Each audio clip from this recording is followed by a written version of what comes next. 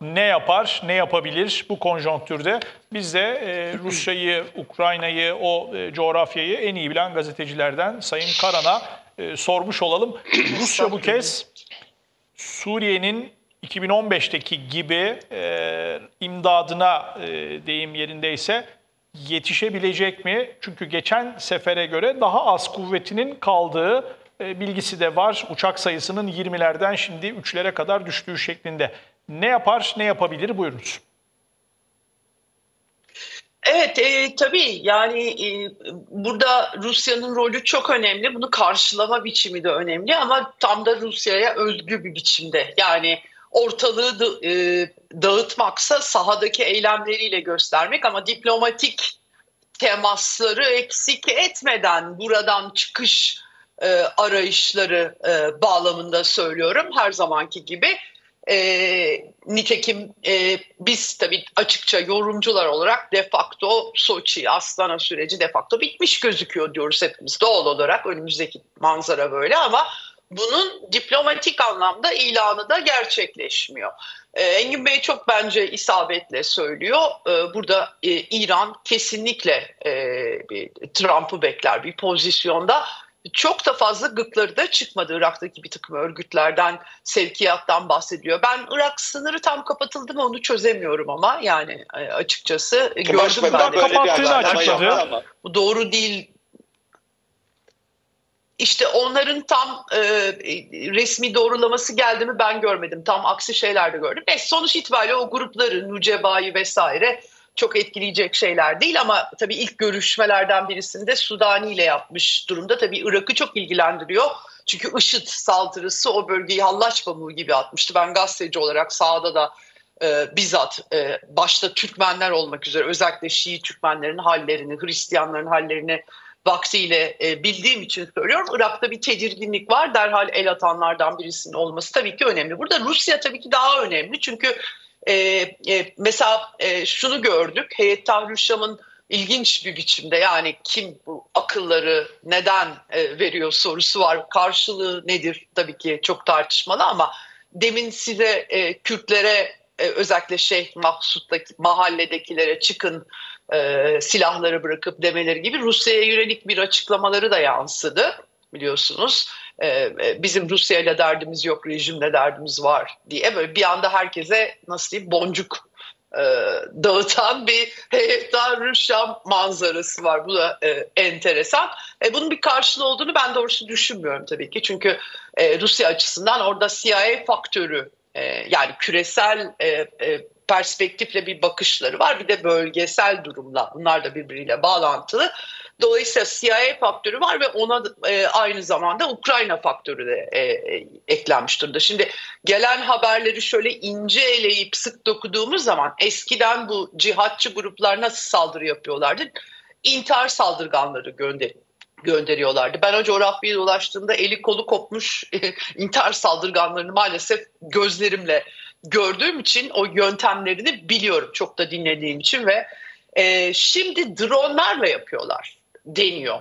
Yani eskisi gibi hani hatta buradan yola çıkarak hani Kürtler bu intihar saldırganlarıyla mesela YPG, PYD e, iştigal etmeye e, alışkın falan diyenler drone faktörüne işaret ediyorlar. Yani biçimlerin değiştiği bu biçimler değişirken bu drone eğitimlerinin Ukrayna ile balansı yani Rusya'yı doğrudan daha önce Kafkasya mesela 2015 müdahalesinde hatırlayalım Rusya Federasyonu e, bunu Rusya'nın güvenlik meselesi olarak algılamıştı. Açıkça da ifade ettiler. Tabii ki savunma anlaşmasından kaynaklanan bir destekti ama Rusya Suriye'ye rejim değişikliğine gitmedi.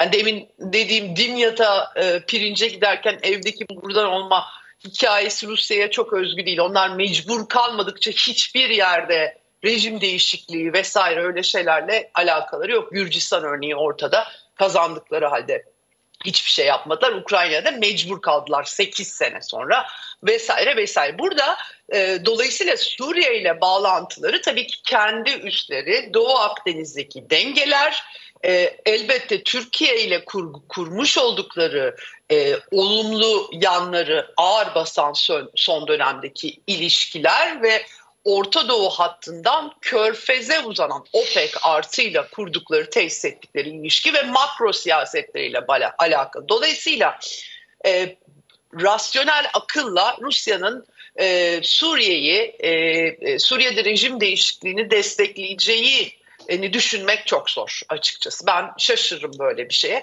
E, şunu da hatırlatmak lazım. Bütün o çok e, e çatışmaların çok yoğun olduğu IŞİD olgusu, Heyettan Hüşam çeşitli isimler altında aynı ideoloji ama o dönemlerde de herkesin dilinde bir tekerleme vardı. Putin Esad'ı satacak. Putin Esad'ı sattı, satıyor, satacak. Bundan hiçbir doğru çıkmamıştı. Şimdi de ben görüyorum e, benzer şeyler oldu. Tabii e, Rus yorumcular arasında bu konular tartışılıyor. Suriye ordusunun zayıflığı, içerideki yaptırımlar, Amerikan yaptırımları çok ağır. 13 sene bir savaş. İkinci Dünya Savaşı 6 yıl sürdü. Yani herhangi bir ülke için çok zor işler. Üstüne pandemi geldi, üstüne deprem oldu. Unutuyoruz hepimiz. Ve içerideki yönetimle ilgili sıkıntılar, bundan şikayetler, eleştiriler vesaire. Ama son tahlilde o jeopolitik resmi bence çok değiştirmiyor.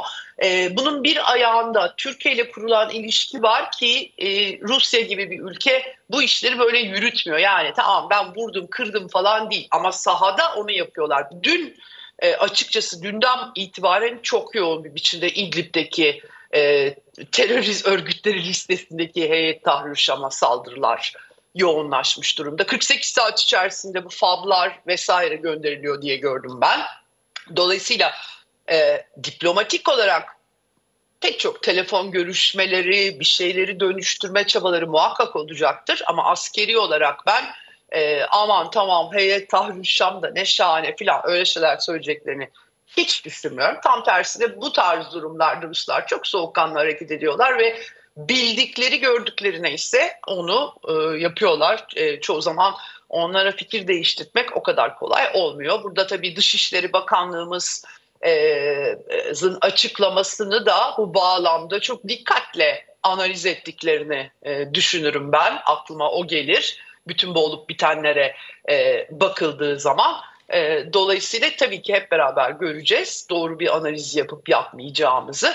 E, ama e, ilk e, olayların sıcaklığıyla yapılan değerlendirmelerde biraz böyle sakin durup e, satır aralarını iyi okumaya ihtiyaç olduğu kanaatindeyim ben.